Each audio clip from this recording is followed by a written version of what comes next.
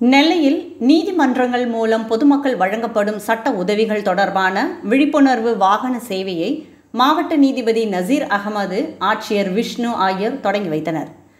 நாட்டின் எழுபத்தி ஐந்தாம் ஆண்டு சுதந்திர தினத்தை முன்னிட்டு நெல்லை மாவட்ட சட்டப்பணிகள் ஆணைக்குழு சார்பில் பல்வேறு விழிப்புணர்வு நிகழ்வுகளை நடத்தி வருகிறது. அந்த வகையில் கீழமை நீதிமன்றம் முதல் உச்சநீதிமன்றம் வரை பொதுமக்களுக்கு கிடைக்கும் சட்ட உதவிகள் தொடர்பான விழிப்புணர்வு வாகன சேவையை மாவட்ட முதன்மை நீதிபதி நசீர் அகமது மற்றும் மாவட்ட ஆட்சித்தலைவர் விஷ்ணு ஆகியோர் கொடியசைத்து துவக்கி வைத்தனர்.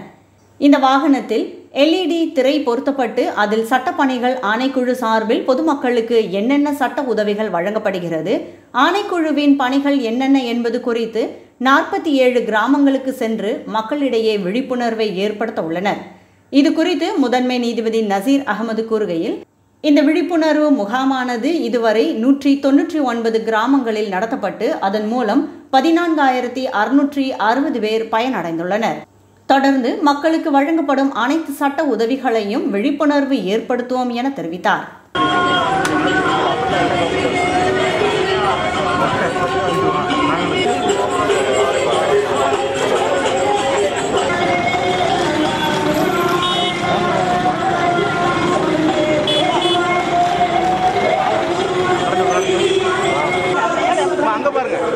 cámara, con mi.